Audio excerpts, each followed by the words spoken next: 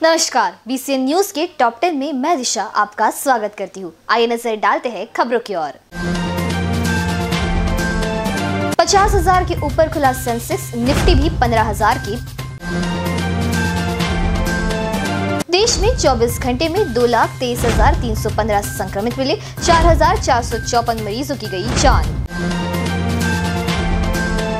बीते 24 घंटे में उन्नीस लाख अट्ठाईस हज़ार सैंपल जांचे गए। अब तक 33 करोड़ से ज़्यादा कोरोना टेस्ट हुए। आईसीएमआर ने दी जानकारी।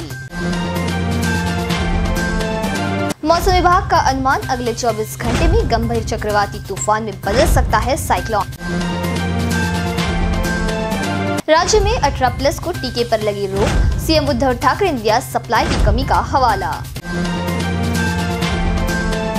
शहर में चौदह हज़ार से कम हुए एक्टिव केस, पचानवे दशमलव अठारह प्रतिशत हुआ रिकवरी रेट। शहर में बदलाए मौसम ने बढ़ाई उमस, फिर बन रहे बारिश के आसार।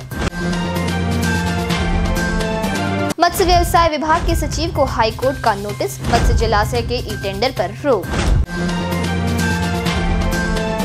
शहर में लॉकडाउन में भी पूरे रोड पर लगता है बाज़ार, दिन भर लगी रही चाय नाश्ते की गुमटिया। ग्रामीण भागों में बड़े टेस्टिंग पालक मंत्री नितिन राउत ने कहा वैक्सीनेशन भी हो तेज, अस्पतालों व पीएचसी को दी भेंट।